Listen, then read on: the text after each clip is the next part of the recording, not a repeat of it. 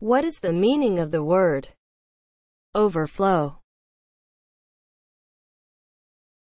As a noun, the occurrence of surplus liquid, as water, exceeding the limit or capacity.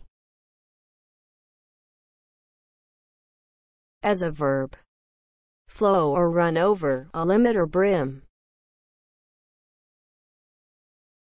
Overflow is spelled O V E R F L O W. Overflow